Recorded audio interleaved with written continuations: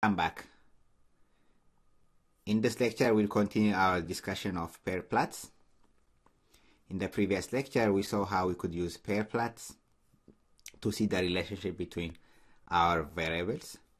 And we looked at the iris dataset to see the relationship between, for instance, sepal length, sepal width, petal length, and petal width.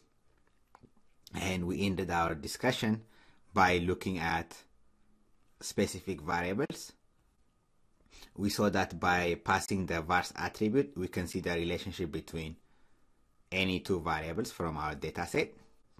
So let's look at the previous example that we saw to see the relationship between sepal length and sepal width. So SNS that pair plot and then we'll pass our iris dataset and the vars attribute and we'll pass the list of attributes that we want to see, the list of variables that we want to see in our vars attribute. So sepal length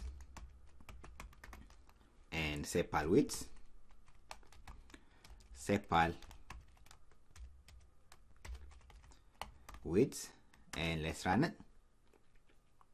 So now we see the relationship between sepal length and sepal width and the diagonal show the relationship of the specific attribute or variable, the specific variable to itself. We can also change the size of our pair plot here by passing the size attribute. Let's see an example. So I'll copy this and paste it here. So in addition to this vars attribute, we can pass a size attribute and set it to let's say 4 and see what it looks like. So that will make the plot bigger. That will make our pair plot big. Okay that might be a little big. Let's pass size 2 that's small.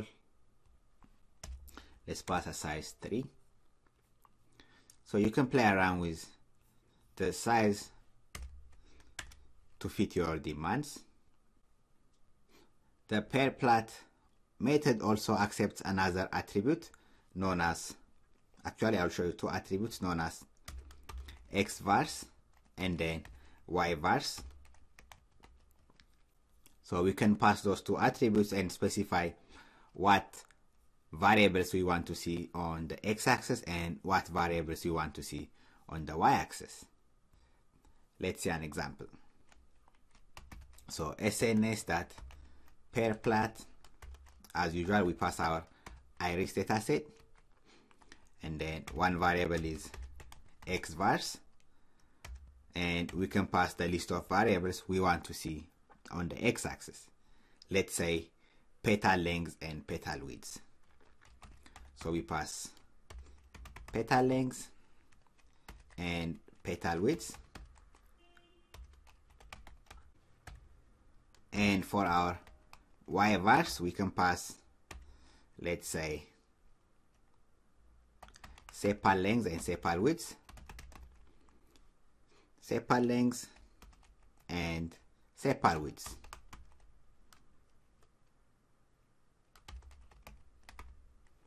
let's run it.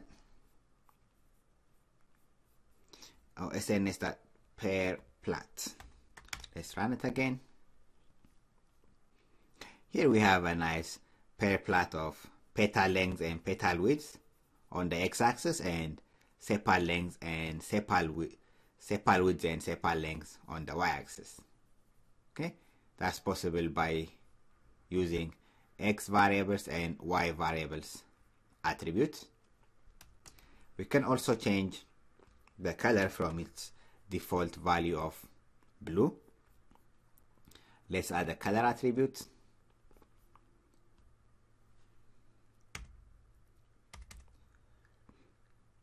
to make it look nice I'll continue this on a new line.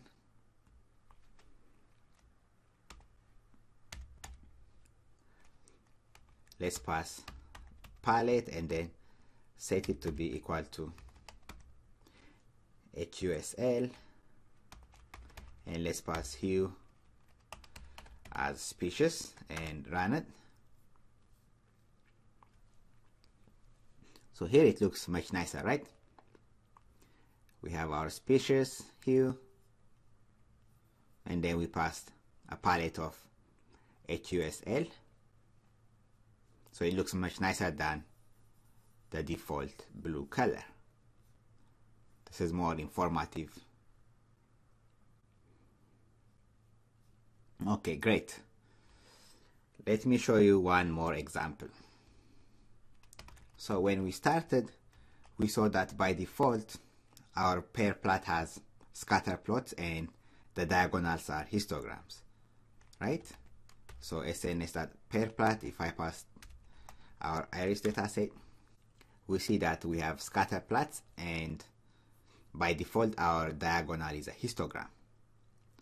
We can also change this diagonal to some other kind and we we have another attribute for that known as the diagonal kind. So diag underscore kind. For that let's pass a value of KDE so that our diagonals will be a kernel density estimate instead of a histogram. Let's see how we can do that. So sns that pair plot as always and then we pass our iris dataset and for our diag underscore kind attribute we'll pass a value of KDE and run it. So here we have a kernel density estimate for our diagonal which again shows the relationship of a given variable to itself. So here we have the relationship of petal width to petal width, which is represented by this KDE. And same for the other three attributes, the other three variables. Okay? And we can change the default color of our pair plot by passing palettes.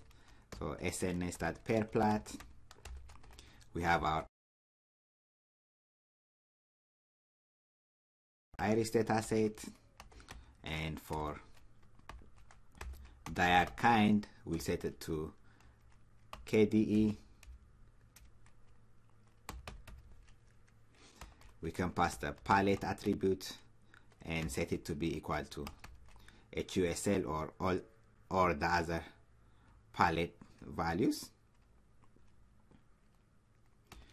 And let's pass the hue attribute and set it to be species and let's run it so here we have a nicer representation and for the KDEs on the diagonals it's divided by the three species Setosa, versicolor and virginica great another thing we can do is we can also pass a linear regression line to our scatter plots by passing the kind attribute. So let's see an example of that. So we have our SNS, pair and then we have our iris dataset, and for kind, we can pass the value of regression.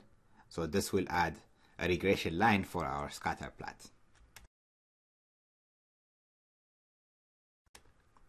So if we run this, we'll see that a regression fit line is added to the scatter plots. Let me copy this one also and add a regression fit line. Okay, let's paste it. So sns.pair plot, we have our iris dataset, diagonal kind is KDE, palette, we have HUSL, for hue we have species, and let's pass a value of regression reg for our kind attribute and run it. I'm missing a comma here. Let's run it again. So that this is just to show you an example of this kind attribute. So here we see that a regression line is added to each one of the species. We have the hue here, Setosa, versicolor, and virginica. This is just to show you some more examples. But usually, we use this graph.